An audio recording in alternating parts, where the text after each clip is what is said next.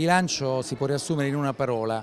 Tutti i luoghi comuni sull'incapacità delle amministrazioni di collaborare, di fare squadra, vengono infranti da questo percorso che abbiamo avviato da sei mesi e che in sei mesi ha portato ad infrangere molte barriere, eh, nel senso che si lavora insieme e si ha la percezione che il cittadino non riconosce diversi enti locali ma una sola pubblica amministrazione.